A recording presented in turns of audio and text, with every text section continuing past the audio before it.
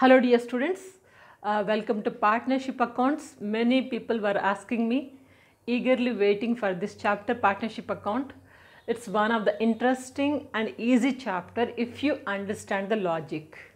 Nothing to worry and there are many people who are requesting me to speak in their language like Hindi or Telugu. Sorry, because English is a common language which can cover the all over India. Even outside of the India also people are following it. So I'm using English, simple English, easily you can understand. So coming to the partnership accounts here, you know that partners, who are the partners? Two or more than two than more than two members together when they wanted to start any kind of business with the aim of profit when they start any kind of business that we call it as a partnership Pa- uh, we call all the partners as partner. Each and every member in the partnership is we call them as a partner. And together the organization partnership business we call it as a firm. Partner and firm. Partner means members of the partnership. And firm f-i-r-m firm means company. Or you can say business total partnership business we call it as a firm together. This partnership firm is formed in the act of 1932 1932 partnership firm has decided and it has given some rules and regulations how a partners can run the business and what are the rules and regulations. We know already we have learned about this partnership business in business organization management subject already so that link you can find it in the downside BOM subject. So there I, I spoke about partnership in depth. Now anyway let me give you a small introduction. What is this partnership? In partnership the main features if you see will get an understanding about the partnership. What are the main features? The first thing is that minimum members. How many members are required for the partnership? Minimum 2 members are required.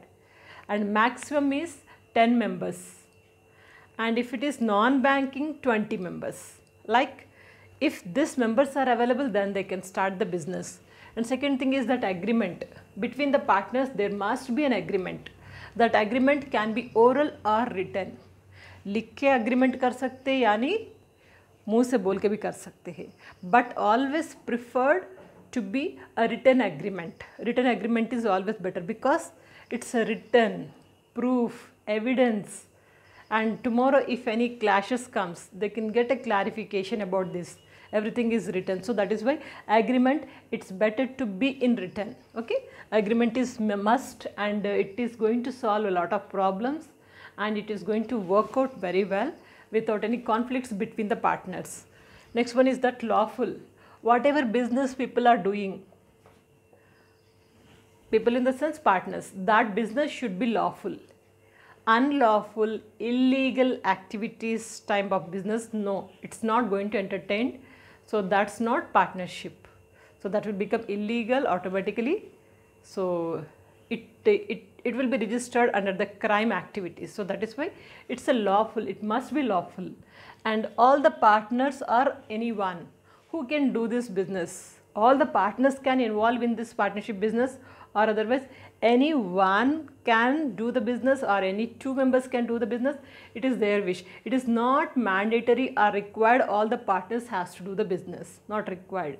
Anyone can do or anyone can be a sleeping partner not involved. Simply supplied the capital. Anything can happen. Anything. Possibility is there. And another thing is that unlimited liability. This is one of the main feature of the partnership firm and also in the sole proprietor. Unlimited liability liability their liability is unlimited. Whenever the partnership gets into loss their liability will be always unlimited. They may lose even their own property also. Because of the loss huge loss in the business. Main features are this. Now if you see capital accounts partners will be preparing their capital accounts. Capital accounts how do they prepare? There are two methods to prepare the capital account. One is fixed capital account and fluctuating capital account if it is a fixed capital account we'll be preparing two accounts one is fixed account Another one is present account.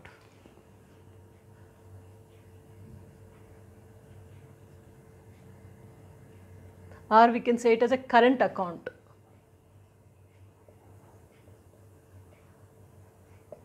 Fixed account if we are following fixed capital account we'll have two accounts. One is fixed account. Let's not use the present account. We'll use the one word that is current account. Fixed account and current account. Both accounts we are going to prepare. Fixed account will be fixed. Will write only the capital which is supplied by the partner. That amount only will write not anything else. It is fixed. We don't want any fluctuations. So that is why it is fixed. And whereas current account current capital account. So, in current capital account we will be writing all kind of transactions related to the partners like what is the salary given to the partner, what is the rate of interest on capital is given to the partners, how much we are charging on interest and drawings like anything related to the partners transactions we will write it into the current account, partners current account, right.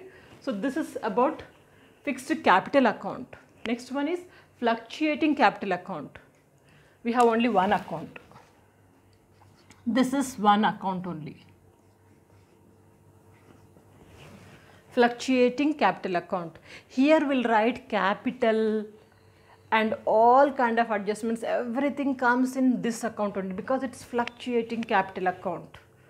So we need not to prepare two accounts. Two accounts we are going to prepare fixed capital account. If we are following fixed capital method then we will be preparing two accounts fixed account and current account. Fixed capital account will say fixed current account fixed uh, sorry current ca current capital account will say. So like we will be preparing two accounts any method which method we are following we must have an idea according to that we will open the accounts. Now let me tell you very important thing you know that uh, profit and loss account we have learned in the final accounts profit and loss account. Why do we prepare profit and loss account? To know the profit or loss of the organization.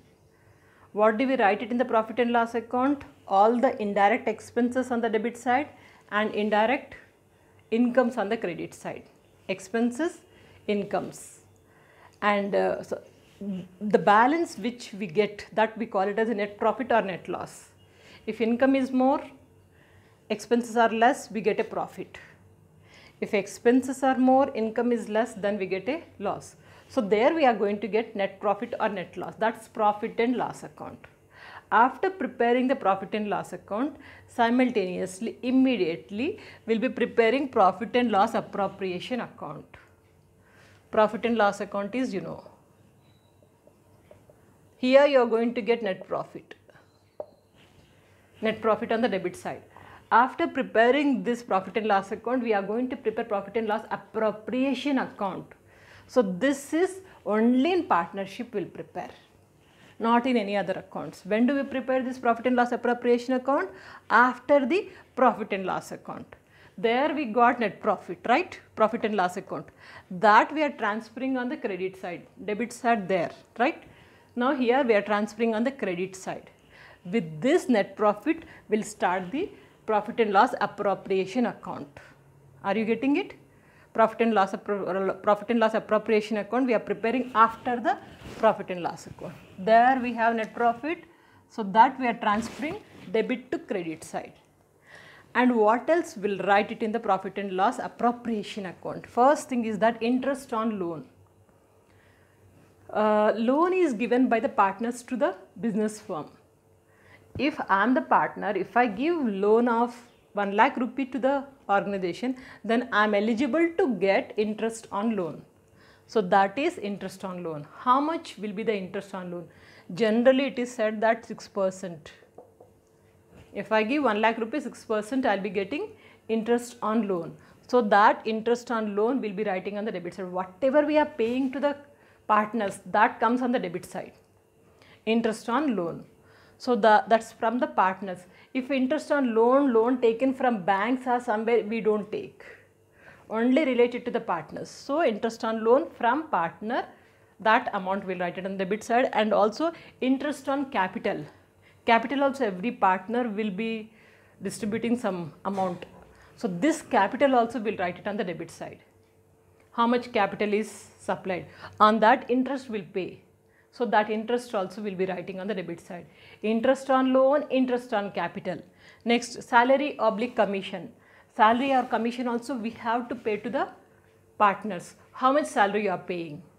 Sometimes partners may not be uh, coming with a capital. They won't be uh, distributing or they won't be contributing the capital. So in such cases we are going to give them salary for their services. That salary how much? And sometimes commission on commission basis also we may take partners. So what is this commission? How much commission we are giving it? So that interest salary or commission will be writing on the debit side. Apart from the transfer of reserves, see here we got net profit. Out of this net profit, some amount will be transferring to the reserves. That reserve, if at all transferring, then that reserve will comes here. If no reserve, we'll ignore it. So ha hardly we have four transactions on the debit side.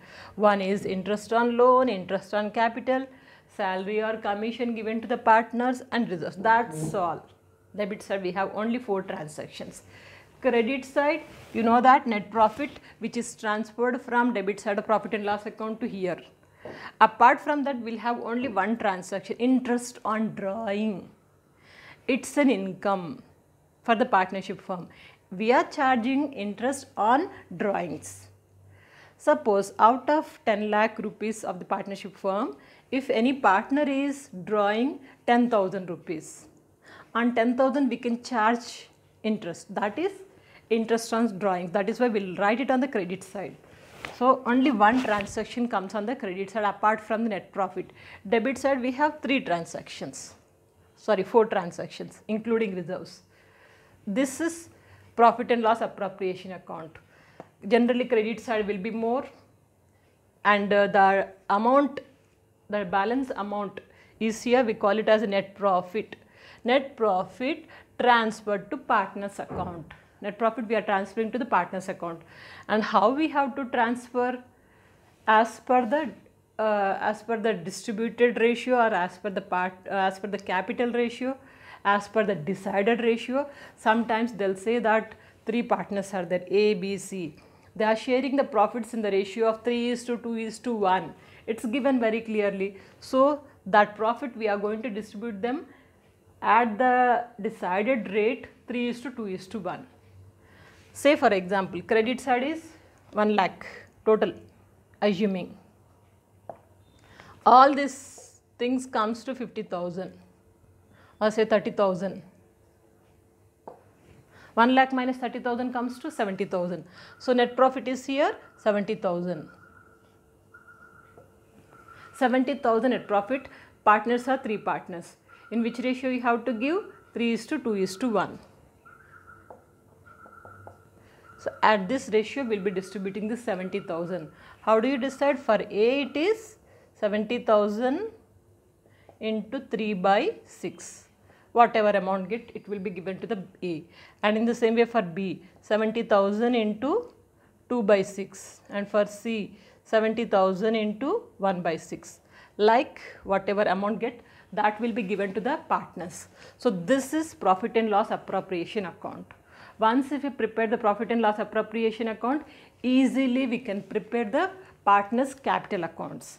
Partners capital account it may be fixed capital or fluctuating capital method that we need to be very careful. Right now today's class remember about profit and loss appropriation account. You can pause the video, take a, a snap or otherwise you can note down the things. So this is introduction of partnership accounts. In the coming classes, we'll work out directly the problems. We'll come to know exactly how do you prepare profit and loss appropriation account and partners capital account whether it's a fixed or fluctuating. Both the methods will see. But stay connected. Previous subject subjects also many subjects are already taught. All the links are given in the description box. Many times people will be asking madam can you prepare brs brs already over bank reconciliation statement. And sometimes people ask about funds flow statement that is also over. Sometimes people say regression analysis. In the statistics that is also over. Like many topics already over if you want to search, go to the playlist and you'll find the subjects, get into the playlist and you'll come to know how many topics I have covered. Or any doubt, you can just type on the YouTube Devika Bhatnagar depression, depression, oh, sorry, depreciation. Depreciation accounts, you'll, depression means generally it's a motivational topic I've already covered. So depreciation, Devika Bhatnagar fund flow statement, Devika Bhatnagar working capital like you can type with my name automatically you'll get that link instantly without much struggle. Right? So keep in touch. More topics i'm going to cover. So till then keep practicing well. Don't lose your confidence. Give your best. Good luck